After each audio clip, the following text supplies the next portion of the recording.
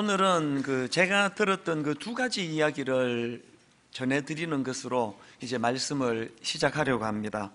먼저 들려드릴 이야기는 이 뉴질랜드에서만 서식한다는 키위새 이야기인데요. 이 키위새는 그 날지 못하는 새로 유명한 새라고 합니다. 어떻게 하다가 그 날지를 못하는 새가 되었나? 이게 참 흥미로운데요.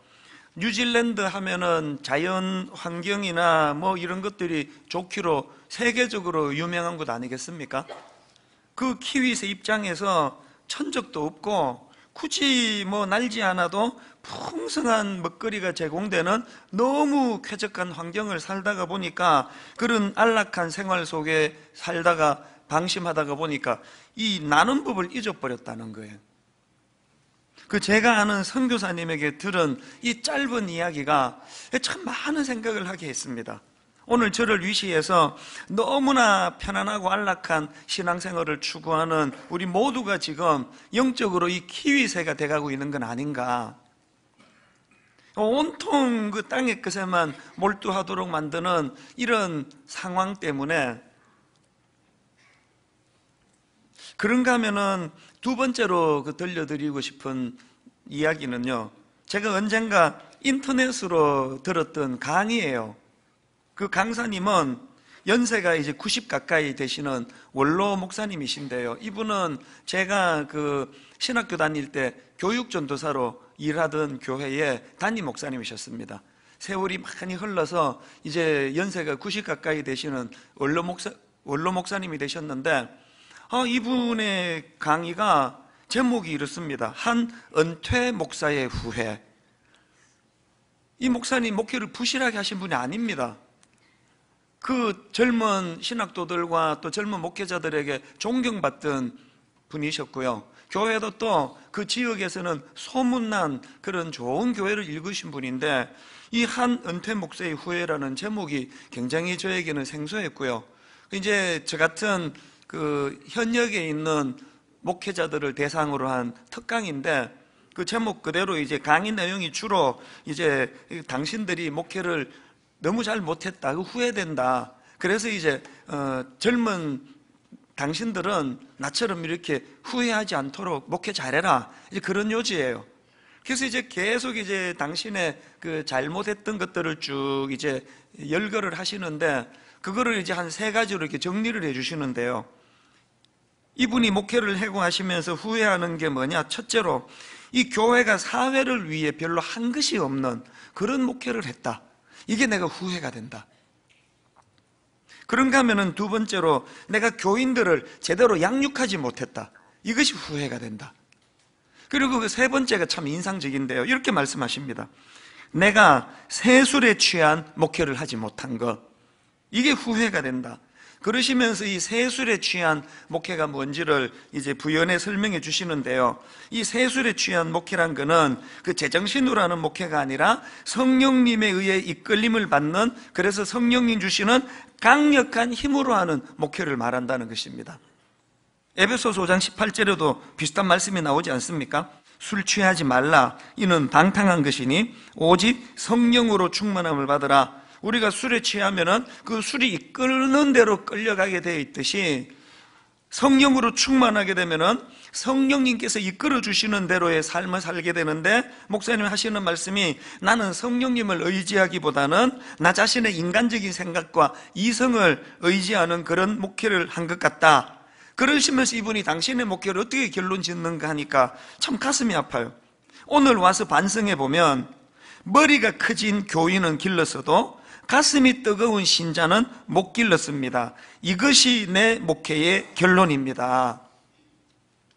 아, 물론 이 어른이 겸손하셔서 하시는 말씀이지만요. 저는 목회자로서 이 목사님의 고백들이 이게 여사롭지 않은 거예요. 그리고 저는 정말로 내 마음의 소원은 이제 기회가 없는데 이제 돌이킬 수가 없는데 늘 내 목표를 돌아보면서 후회가 되고 가슴을 치면서 왜 그렇게 했을까 왜 그렇게 했을까 그런 회한에 빠지고 싶지 않거든요 저는 그럼 어떻게 하면 됩니까? 기회 있을 때 지금이라도 반성하고 또 고치고 그렇게 다듬어 가야지 제 은퇴 이후에 이런 후회와 회한이 없을 거 아닙니까? 여러분도 마찬가지예요. 우리는 기회가 다 없어지고 그때 그럴 걸, 그럴 걸, 그 후회하는 인생이 아니라 아직 기회가 있으니까. 아직 우리 살아 숨 쉬고 있지 않습니까? 늘 자기를 돌아보고 점검하면서 우리가 기회 있을 때 늘 이제 하나님 앞에서 그렇게 되도록이는 이런 일들이 필요하다는 겁니다. 그래서 저는 오늘 설교 제목을 반성하며 회복해야 할 것들 이렇게 잡았는데요. 사실 오늘 본문 말씀은 우리 자신의 모습을 근원적으로 점검하고 살피는데 참 좋은 본문입니다. 왜냐하니까 오늘 본문 말씀은 부활하신 예수님께서 이제 승천을 앞두고 계시는 상황인데 그때 제자들에게 주셨던 군면의 말씀이기 때문에 여러분 그냥 평상시에 애들한테 그냥 뭐 양치질 잘해라 뭐 해라 뭐 해라 잔소리 하는 거하고 이제 내가 죽음이 한 두 시간밖에 안 남았을 때 자녀들에게 마지막 액기스를 권면하는 거하고 그 차이가 많은 거 아니겠습니까? 예수님이 지금 마지막으로 제자들에게 당부하시는 게 그게 분명히 본질적이고 엑기스가 담겨 있는 말씀일 텐데요. 그 저는 오늘 이 본문을 묵상을 하면서 이 말씀 속에서 우리가 반성해야 될 근원적인 몇 가지 문제점들을 발견을 하게 되는 겁니다. 이걸 좀 살펴보려고 하는데요.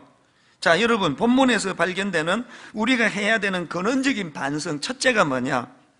하나님 나라에 대한 망각입니다. 예수님은 공생애를 시작하시면서 가장 선포하신 말씀부터가 하나님 나라예요. 자, 마태복음 4장 17절.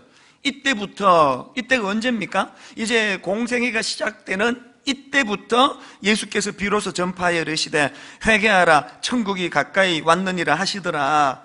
예수님의 사역 첫 일갈이 하나님 나라에 대한 선포라는 거 다 아시지 않습니까? 이후에도 주님은 사역하시는 내내 하나님 나라를 선포하시고 하나님 나라에서 일어나실 일들을 가르치실 뿐만 아니라 주님이 행하신 모든 하나하나가 다 하나님 나라와 연관이 있는 거예요. 병을 고쳐주시는 거, 귀신을 물리치시는 거, 그 수많은 장애인들을 고쳐주시는 거, 이게 전부 하나님 나라의 일들을 염두에 두고 행하신 일들이라는 거예요.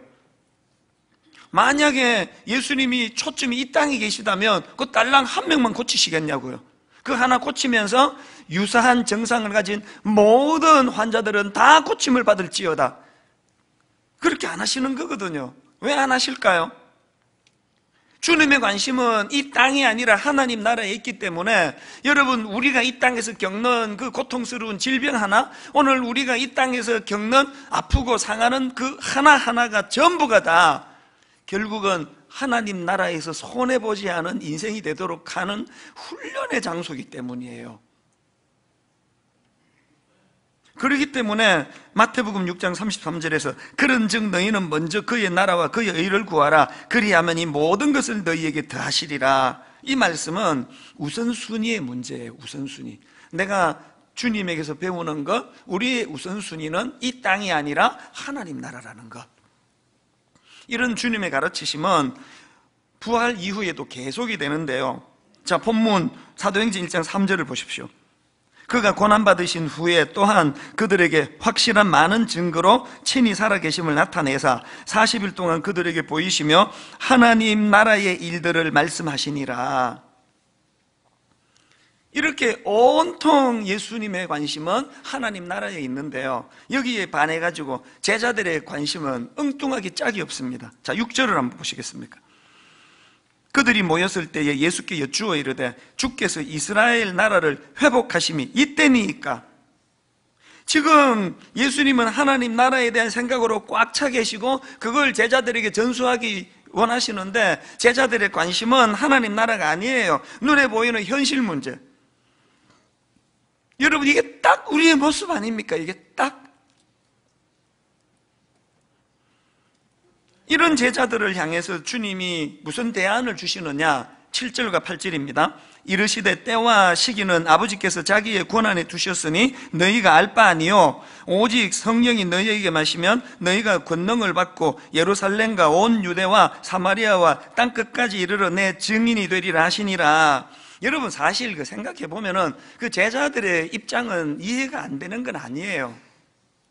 지금 당장 눈에 보이는 자기 조국의 현실이 그 로마의 압제로 지금 신음하고 있는 상황이니까 눈만 뜨면 지금 보여지는 게 자기 그 동족들이 그 로마로부터 그렇게 박해를 당하고 핍박당하는 그런 현실이니까 이게 어떻게 그게 그 사소한 문제겠냐고요. 이거 우리도 마찬가지 아닙니까? 저나 여러분이 겪고 있는 이 땅에서의 그 기도 제목, 문제, 이거 사소하다 말하기 어렵습니다. 여러분, 이 땅에 어떤 결핍된 무엇을 놓고 하나님께 기도하는 걸 비난할 수 없습니다. 무거운 그 사실이에요. 그러나, 앞에서 말씀드렸듯이 우선순위는 좀 정하고 살아가자는 거예요.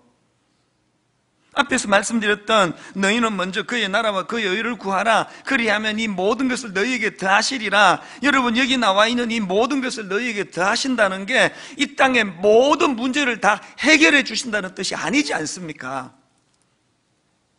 인생은 해석이에요.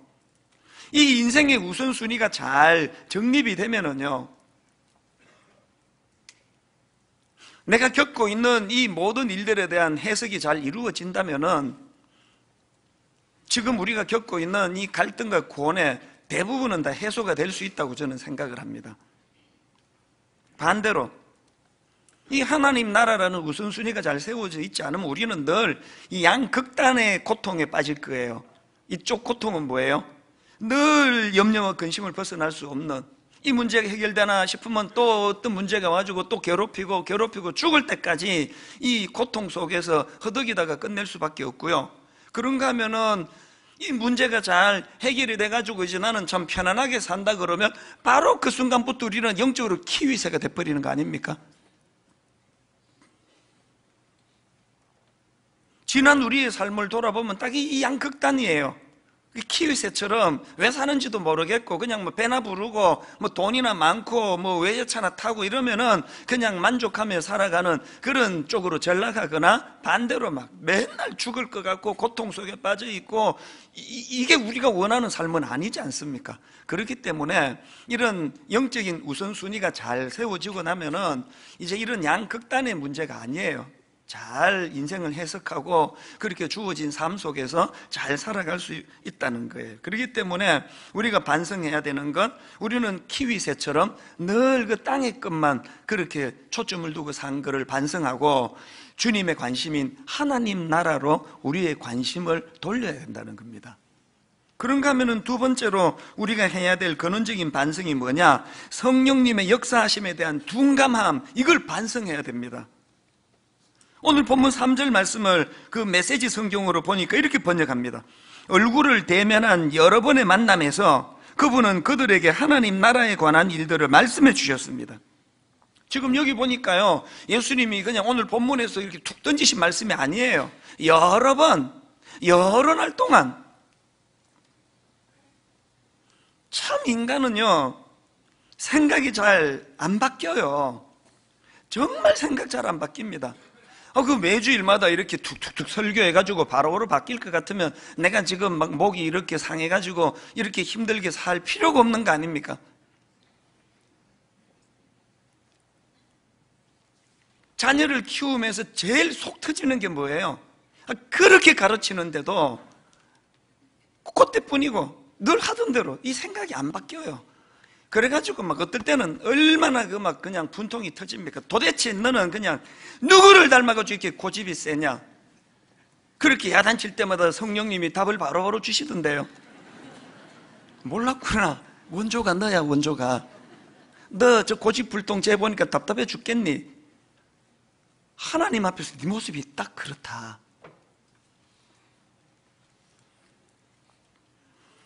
지금 예수님께서 제자들에게 여러 날 여러 차례에 걸쳐서 하나님 나라에 대해서 가르치고 있는데 제자들은 지금 그 생각이 잘 안 바뀌니까요. 그러니까 이제 예수님이 어떤 대안을 주시느냐 이게 참 중요합니다. 4절 5절을 보십시오.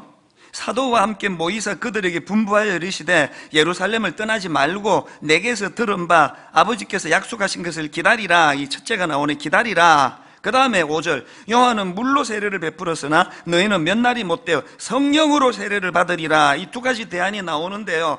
여러분 생각이 잘 바뀌지 않는 제자들에게 주님이 주시는 대안은 기다리라예요. 변할 때까지 기다려라 생각이 변할 때까지. 그 놀라운 그 복음을 그런 얕은 생각을 가지고 전하면 어떻게 되겠니? 네 생각이 바뀌기 전에는 움직이지 마라. 기다리라는 거예요 오늘 여러분 이 한국 교회를 이렇게 그냥 부끄러운 자리로 몰고 간 거 다 그 못 기다리고 그, 그, 그 청년 때 막 철학기도 좀 나가고 막 열심히 찬양하고 하니까 그 순진한 목사님이 그거 보고는 어, 너 신학교 가라 그래가지고 생각도 안 바뀌고 그냥 신학교 가가지고 3년 동안 생각도 안 바뀌고 신학교 졸업하고 생각도 안 바뀌고 목사 한 수 받아가지고 덜큰 그냥 교회를 맡은 이런 생각이 안 바뀐 미숙한 지도자들 때문에 교회가 얼마나 어려움을 겪느냐고요. 오늘 개교회, 분당 우리 교회도 마찬가지예요. 복음으로 생각이 바뀌어지지 않은 그냥 열정만 있고 열심만 있는 사람들이 온 교회를 그냥 다 해죽고 열심을 내가지고 교회가 다지금 어려움을 겪는 거 아닙니까? 여러분 우리 신앙생활에 이 기다리는 거 진짜 중요한 덕목이에요 성숙해질 때까지 기다리셔야 돼요 그리고 더 중요한 게 뭡니까? 우리가 기다리면서 사모해야 되는 게 뭐냐? 우리가 생각이 변화될 때까지 기다리는 것이 중요하지만 이것보다 더 중요한 거 우리 생각을 바꾸어 주시는 분은 성령님이시라는 걸 확실히 자각하는 거예요. 여러분 우리 미숙한 생각을 바꾸어 주시는 분이 성령님이라는 사실을 알고 계십니까? 오늘 우리가 잘 아는 8절의 그 무게중심을 옮기셔야 돼요. 8절을 다시 보십시오. 오직 성령이 너희에게 마시면 너희가 권능을 받고 예루살렘과 온 유대와 사마리아와 땅끝까지 이르러 내 증인이 되리라 하시니라. 성격 급한 대한민국 성도들은 맨 끝에 결과 내 증인이 되리라. 이거에만 온통 그냥 사도행전 8장에 무게를 두지만 저 말씀에 진짜 중요한 것은 전제 성령이 너희에게 임하시면이에요 임하지도 않았는데 생각도 안 바뀌었는데 나는 목사가 됐지만 여전히 미숙한데 증인이 되겠다고 설치고 다녀가지고 진짜 이 싸구려 복음이 지금 뒹굴고 다니는 한반도 아닙니까? 사도행전은요 온통 이런 기다림으로 성령님의 충만함을 받은 성숙한 사람들의 활동 기록이 그게 사도행전입니다 예를 들어 자 사도행전 16장 6절 7절. 성령이 아시아에서 말씀을 전하지 못하게 하시거늘 그들이 부르기아와 갈라디아 땅으로 다녀가 무시아 앞에 이르러 비두니아로 가고자 애쓰되 예수의 영이 허락하지 아니하시는지라. 여러분 여기 나오는 예수의 영은 성령님의 또 다른 이름이에요. 아, 지금 나는 아시아로 가고 싶은데 성령님이 막으시는 거예요 아, 지금 나는 비두니아로 가고 싶은데 가지 말라는 거예요. 이런 성령님의 인도하심에 대한 그 바울의 순종을 한번 보십시오. 그 다음 8절부터 보십시오. 무시아를 지나 드로아로 내려갔는데 밤에 환상이 바울에게 보이니 마게도냐 사람 하나가 서서 그에게 청하여 이르되 마게도냐로 건너와서 우리를 도우라 하거늘 바울이 그 환상을 보았을 때 우리가 곧 마게도냐로 떠나기를 힘쓰니 이는 하나님이 저 사람들에게 복음을 전하라고 우리를 부르신 줄로 인정함이르라. 여러분 여기 나오는 성령의 인도하심에 순종하는 바울의 모습하고 오늘 본문에서 예수님이 그렇게 하나님 나라를 강조하면서 그들의 생각을 바꾸기를 원하는데 전혀 바, 바뀌지 않는 그 제자들의 모습하고 이 결정적인 차이가 뭐라고 생각되십니까? 생각의 유연함의 차이예요. 우리가 성령님을 사모하지 않다 보니까 부작용이 엄청 많은데 그 중에 두드러지는 것 중에 하나가 이 성경의 경직이에요. 생각의 경직이 생각의 경직. 여러분, 특히 지금 현실 우리나라 지금 정치, 경제, 교육, 또 뭐 무슨 지도자, 또 교회, 다 지금 이 생각의 경직 아닙니까? 한 번 생각이 뭐 어떻게 들어왔는지 모르지만 그렇게 생각이 한번 들어오고 나면은 뭐 완전 이거는 뭐 그냥 그냥 고집불통 아닙니까? 그렇기 때문에 여러분이 아, 내가 하나님 앞에서 내가 얼마나 성숙해졌지? 이거 점검하시려면요 하나님 앞에 내 생각이 얼마나 유연해졌나? 이거 점검해 보면 딱 잣대예요 저는 이런 상상을 합니다. 만약에 바울이 그 사도행전에서 어, 그 아시아로 가지 마라 그러는데 바울이 그 경직돼가지고 난 가야 되겠습니다. 표 다 끊어놓고. 난 그럴 계획이 있습니다. 가겠습니다. 그러고 만약에 바울이 그렇게 갔다면은 어떻게 됐을까요? 요나 비슷하게 됐겠죠. 뭐 상징적으로 하는 말씀입니다만 막 풍랑 만나고 아까운 물건 바다 다 던지고 막 물고기 뱃속에 들어가서 막 3일 동안 죽을 고생을 하고 그랬겠죠. 아 저는 요나스에서 제일 불쌍한 게 그 물고기예요. 그 걔가 무슨 잘못이에요? 또 음식도 가려 먹어야 되는데 그렇게 그냥 하나님께 불순종한 그 못된 요나를 삼키는 바람에 뭐 우리는 뭐 그냥 뭐 조금만 어려움이 있으면 뭐, 아, 뭐 죽겠어 뭐 주에 일을 하다가 고난당했다 그러는데 솔직히 한번 자기를 돌아보자고요 여러분 그 복음을 전하다가 어쩔 수 없이 겪게 되는 그 고난하고 이렇게 그 요나처럼 그냥 불순종해가지고 지 고집으로 가다가 그 물고기 뱃속에 들어가는 그게 어떻게 그게 그 주를 위한 고난이냐고 그거는 헛고생이에요 헛고생. 안 해도 되는 고생 아닙니까? 우리 인생을 돌아보면은요 거의 대부분이 가치 있는 고생은 별로 없고요. 헛고생이 많아요 대부분이. 그 지금 사춘기 애들을 보면은 걔들이 겪는 갈등의 99.9%가 그 헛고생이에요 경험 많은 부모가 시키는 대로만 했으면 피할 고생을 이것들이 얼마나 그 고생을 하고 있느냐고요 적어도 우리 인생이 가치를 추구하다가 고난당하는 것은 몰라도 그 소용없는 헛고생은 피해야 될 거 아닙니까?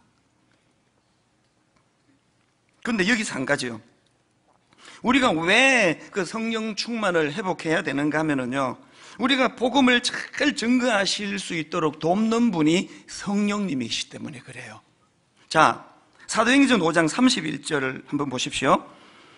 이스라엘에게 회개함과 죄사함을 주시려고 그를 오른손으로 높이사 임금과 구주로 삼으셨느니라 32절 같이 읽습니다 우리는 이 일의 증인이요 하나님이 자기에게 순종하는 사람들에게 주신 성령도 그러하니라 여기 보니까 여러분 우리도 이 일에 대하여 증인일 뿐만 아니라 성령님도 그러하시다는 거예요 그렇기 때문에 여러분 성령님과 복음 증거는 굉장히 밀접한 관계라는 걸 알 수 있는데요. 성령님을 보혜사라고 부르지 않습니까? 여러 번 설명해 드렸는데 원어로 보면은 이 보혜사라는 이, 이뜻 자체가 곁에 서서 도우시는 분이라는 뜻이라고 말씀드렸잖아요. 그렇기 때문에 우리의 일상생활 속에서도 성령님은 우리를 도와주시는 분이에요. 그런데 그 중에서도 여러분, 우리가 특별히 예수 그리스도를 증가할 때는 더욱 역사하시는 분이 성령님이라는 거예요. 여러분, 정말 성령 충만을 맛보고 싶으세요? 그 이상한 기도원 찾아가가지고 뭐 방언 받겠다고 머리 내밀지 마시고요. 진짜 성령 충만을 원하신다면 예수 그리스도를 증거해 보세요. 여기 우리 그 전폭, 전도 폭발 팀 이런 분들 지금 누구라도 나와가지고 간증하라 그러면 다 똑같은 이야기를 해요. 복음을 증거하는 그 현장에 성령의 충만함이 있더라는 거예요. 이게 어떻게 가능하냐고요? 우리는 이 일의 증인이요. 성령도 이러하니라. 저는 분당 우리교회 모든 성도님들이 성령 충만한 성도님들 되시기를 바랍니다. 그런가 하면은 세 번째로 우리가 해야 될 근원적인 반성이 뭐냐? 증인으로서의 삶을 망각하고 사는 것이에요.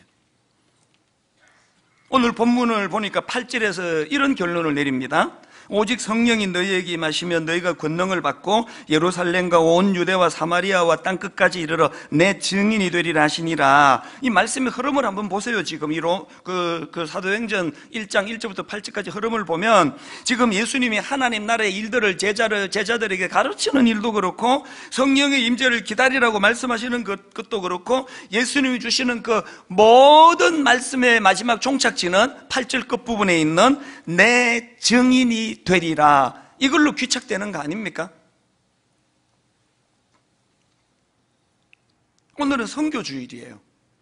저는 이번 성교주일에 여러분 요 하나만 머리에 담으시면 설교 더 이상 안 해도 될 것 같아요.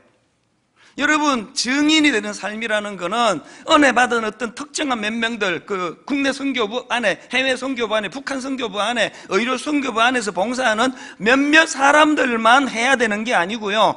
예수 그리스도를 영접한 모든 사람들에게 예외 없이 주어진 책무가 증인의 삶이라는 것입니다. 지난주 말씀드렸잖아요 예수님의 죽으심과 부활하심으로 구원받은 우리는 두 가지. 다시는 나 자신을 위해 사는 삶이 아니고 두 번째 뭐예요? 날 위하여 십자가 지시고 부활하신 예수 그리스도를 위한 삶이다. 이 두 가지 전제에 대한 적용 열매가 증인의 삶이에요. 사실 그러고 보면요. 우리 인생 자체가 증인의 삶이에요 저는 그동안에 이제 그 이발소를 다니다가 그 남자들만 있는 이제 머리 아저씨 연세 한 70 되신 어른들이 머리를 깎는 이제 이발소를 다니다가 좀 더 저도 이제 좀 세련되고 싶어가지고 이제 미장원을 가기 시작했어요. 되게 쑥스럽더라고요. 남자들만 있는 이발소 갔다가 미장원에 막 아줌마들 막 앉아 있는데 제가 그 아줌마들과 가까이 대화하는 것을 들으면서 놀라운 걸 발견했는데 이 땅의 모든 아줌마들은 다 증인의 삶이에요. 머리가 푸석푸석하네? 내가 쓰고 있는 이 샴푸를 한번 써봐. 얼마나 좋은지 알아? 이거 증인의 삶 아닙니까? 애가 고3이라며 그 대치동에 있는 쪽집게 강, 사 이 선생 몰라? 그 이, 이 선생을 찾아가. 이 증인의 삶 아닙니까? 모든 인생은 다 증인의 삶이에요. 그 저도 마찬가지예요. 우리 교회 성도님이 그 영화관 메가박스 그 연관되신 주인이신가 그래요. 그래서 오래 전부터 메가박스에서 저한테 매달 영화표 다섯 장씩이 와요. 그래서 저는 막 영화 보러 갔다가 재미없으면 그냥 나와요. 그 다음 거 보러 가지 뭐. 넉 장 남았는데. 막 영화는 내가 원 없이 보거든요. 설교 소재도 많이 없고. 그게 참 이 빚진 마음을 어떻게 푸는지 아십니까? 나 우리 교역자들이 늘 말해요.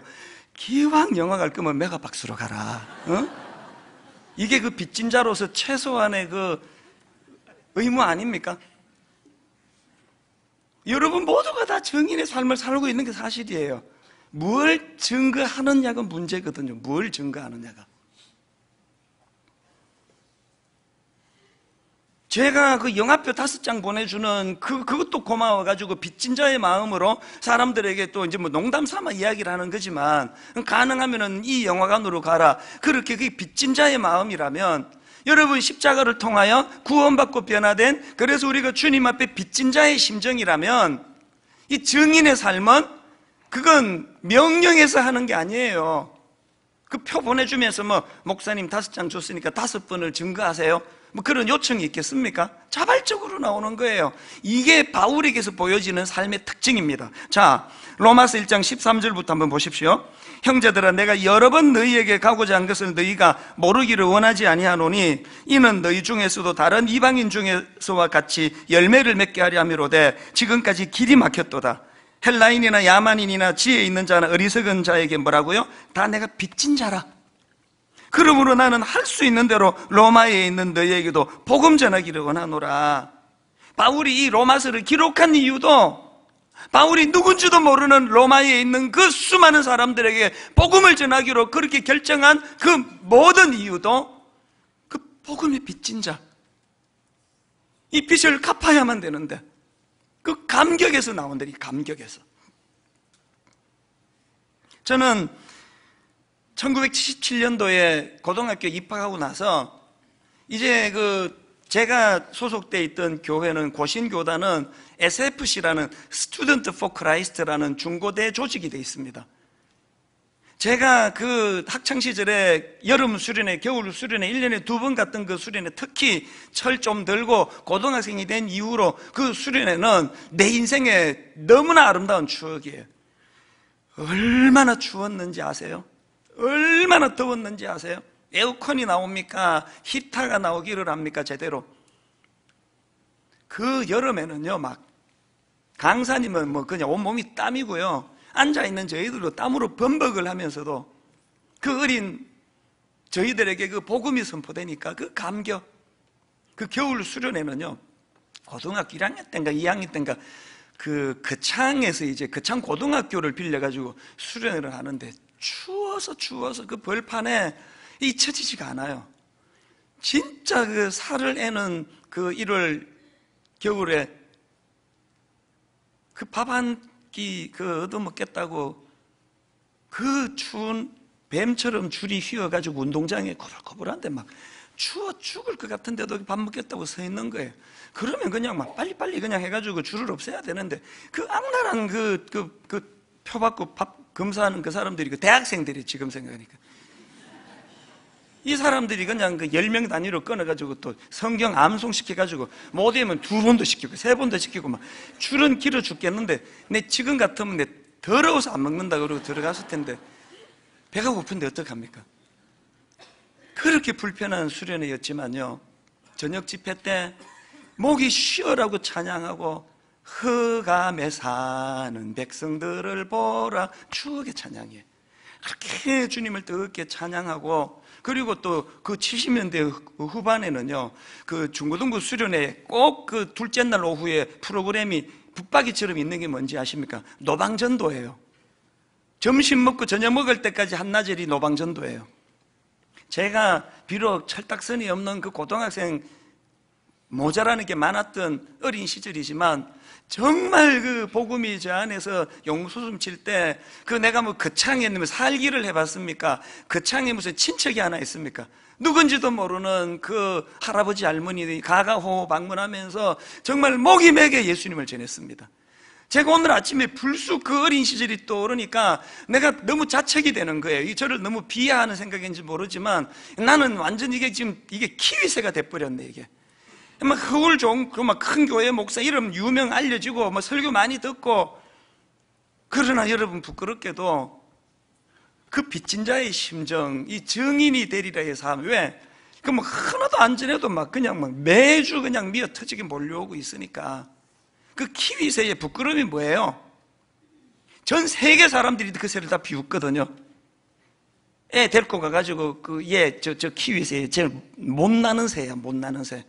온 주변에 사람들이 다 지금 자기를 비웃는데 그 키위새는 아, 그 먹을 것만 많으면 되지 뭐왜꼭 날아야 돼? 이게 오늘 제 모습 아닙니까 이게? 이 오늘 여러분의 모습 아닙니까? 부끄러움을 부끄러움으로 모르는 거는 그 진짜 부끄러운 거예요.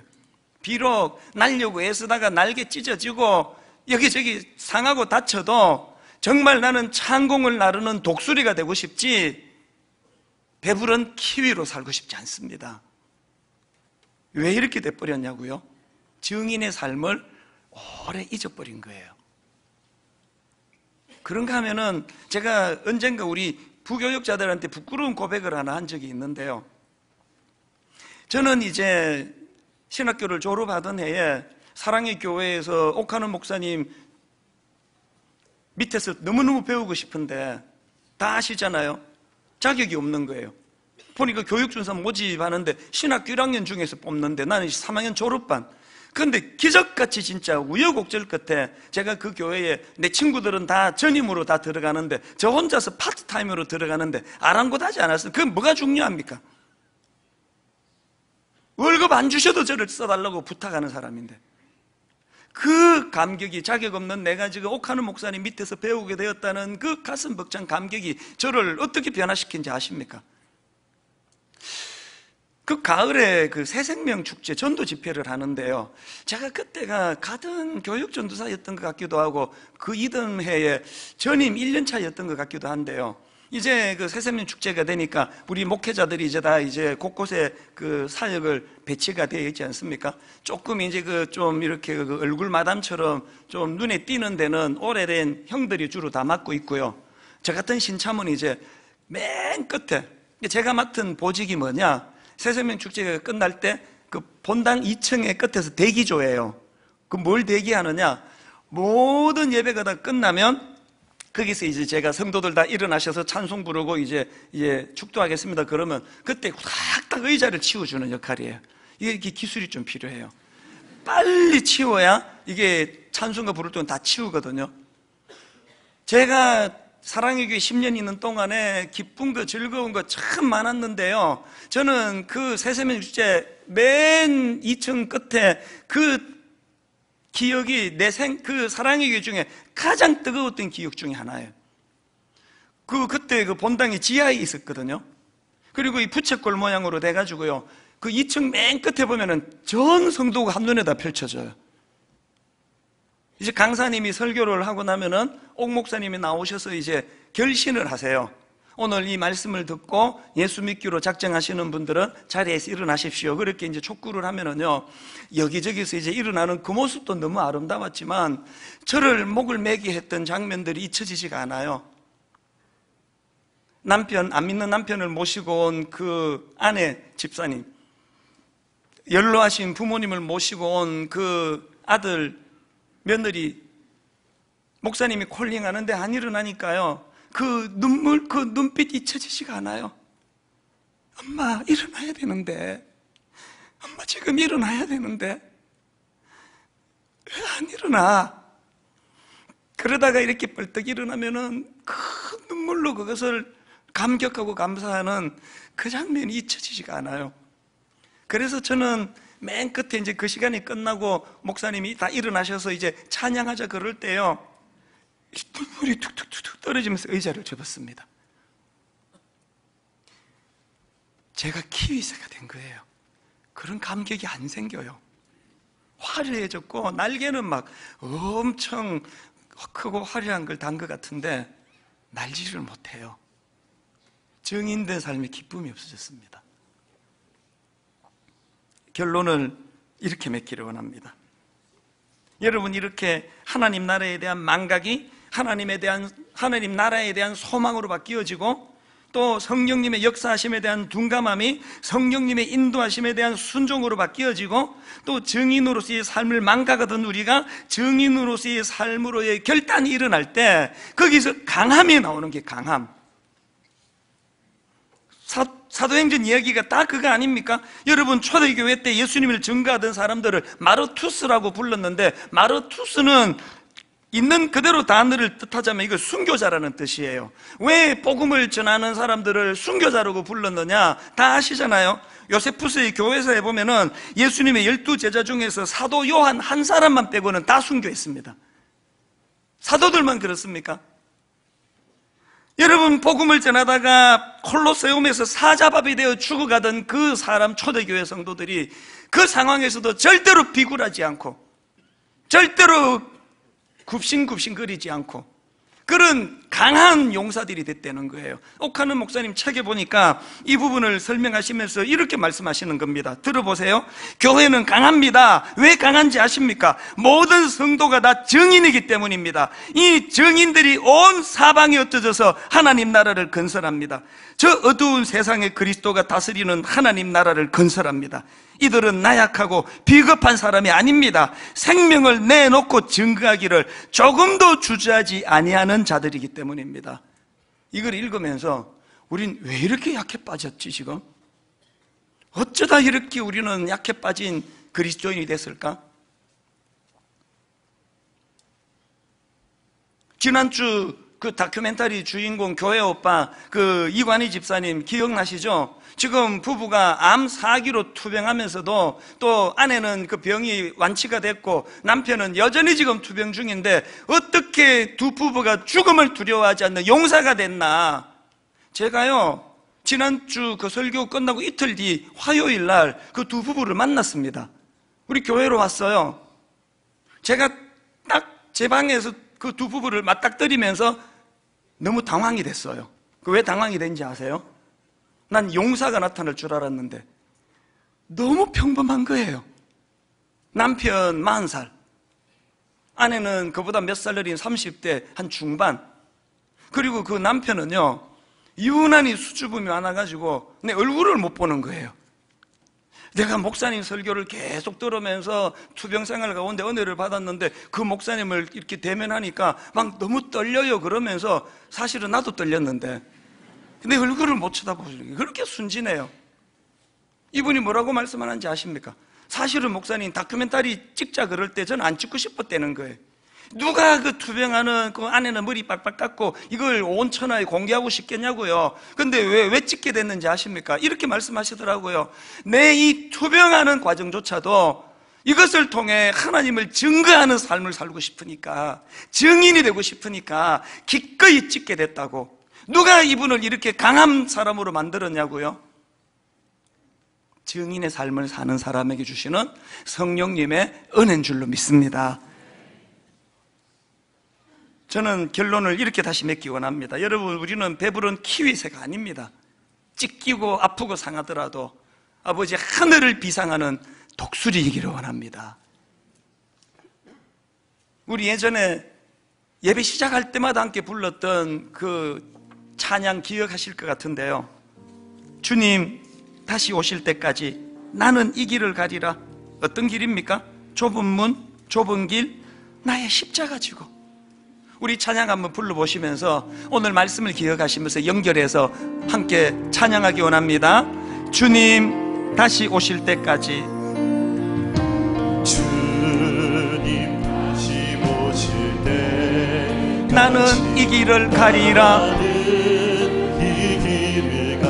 어떤 길입니까? 좁은 문, 좁은 길, 나의 십자가 지고 우리가 가진 소망, 나의 가는 이길 끝에서 이길 나는 주님을 보리라. 우리가 가진 소망, 영광의 내 주님, 주님 나를 맞아주시리. 주님 다시 오실 때까지 다시 오실 때까지 여러분 배부른 키위새가 되지 않기를 원합니다. 나는 일어나 달려가리라. 주의 영광 온 땅 덮을 때 나는 일어나 노래하리. 무엇을 노래하기 원하십니까? 내 사모하는 주님, 온 세상 구주시라. 내 사모하는 주님, 영광의 왕이시라.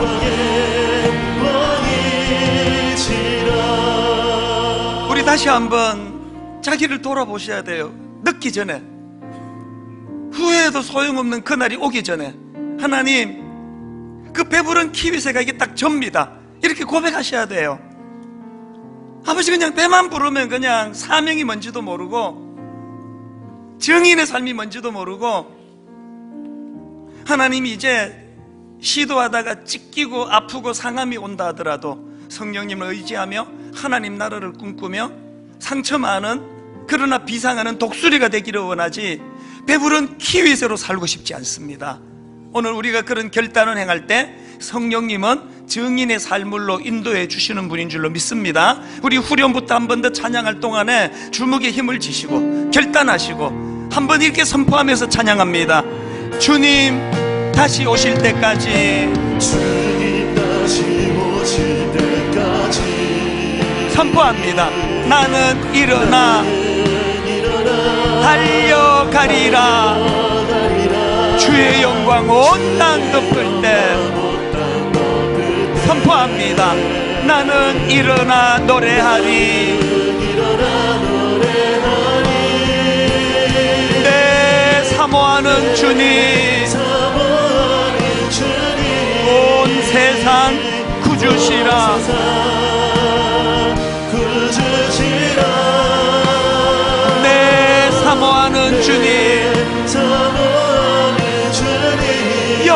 영광의 왕이시라. 그 일을 가능하게 하시는 성령님을 외쳐 부릅니다. 성령의 세바라 이 땅에 불어오소서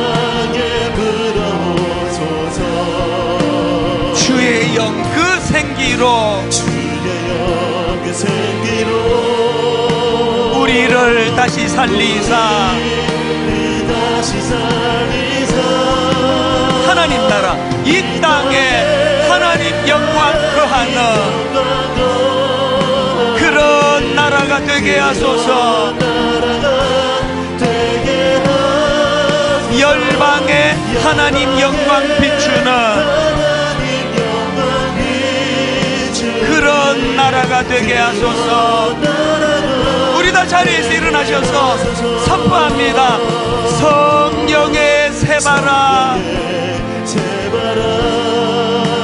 이 땅에 불어보소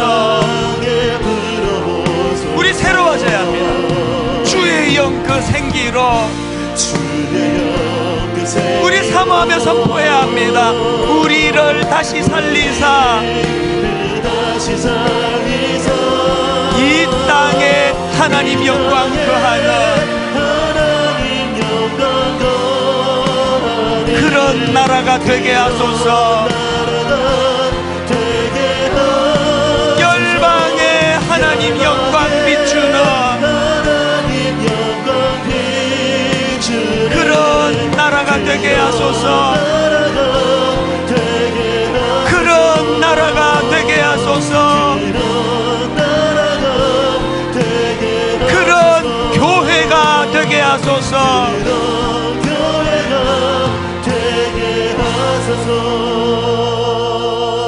기회 있습니다. 새로 반성하고 시작하면 됩니다. 이 세 가지를 가지고 하나님 주님 앞으로 회복되기를 원하오니 이 나라와 이 땅을 살려주시기를 원합니다. 우리 통성으로 같이 기도하시겠습니다. 살아계신 하나님 아버지, 이이 땅에 동과 서 남과 북, 이 땅에 가득한 죄악들을 용서하여 주시기를 원합니다. 무엇보다도 하나님 못하는 키위새 같은 존재로 전락한 우리를 불쌍히 여겨주시기를 원합니다. 모든 우상들이 다 아버지 무너지고 모든 아버지 하나님 대적하는 것들이 결박을 당하고 모든 하나님을 아버지 하나님 하나님을 대적하는 것들이 묶임을 당할 뿐만 아니라 주님만 높임을 당하는 그런 나라가 되기를 원합니다. 그 일을 위하여 하나님 아버지 자신을 반성하며 돌아보기를 원합니다. 하나님 나라를 꿈꾸기를 원합니다. 이 땅에 그것에만 몰두하는 키위새가 아니라 온전히 하나님 나라를 사모하는 저희들이 원합니다. 성령님을 의지하는 저희가 되기 원합니다. 회복시켜 주시옵소서. 하나님 오늘 이 말씀이 우리를 살리는 생명의 말씀이 되게 하여 주시옵소서. 고집불통 절대로 생각이 잘 바뀌지 않는 죄성을 가진 저희들이 오니 성령님만이 그것을 바꿀 수 있는 분이 오니 성령님 우리를 고쳐 주시옵소서. 깨우쳐 주시옵소서. 증인의 삶을 너무나 기쁘게 감사하게 그렇게 살아내는 저희들 되게 하여 주시옵소서.